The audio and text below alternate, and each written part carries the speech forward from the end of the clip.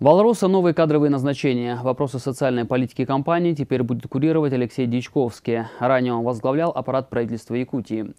В зону его компетенции войдут вопросы реализации корпоративных социальных программ, взаимодействия с органами власти и муниципальными образованиями. Помимо этого, Алексей Дичковский займется реформированием подразделений, ведущих деятельность в области детского дошкольного образования и сельскохозяйственного производства. Представили также нового директора по персоналу. Им стала Ольга Макарова. Первостепенными задачами заместителя генерального директора «Алроса» станет реализация кадровой политики компании, урегулирование вопросов труда, занятости, подбора, расстановки и подготовки кадров. До перехода на новую должность Ольга Макарова занимала пост начальника управления организации труда и работы с персоналом «Алроса».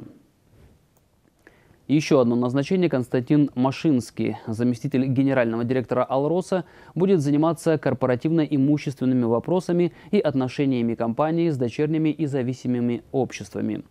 Его задача будет не только повышение эффективности деятельности дочерних обществ, но и выстраивание работы, связанной с использованием недвижимого имущества компании.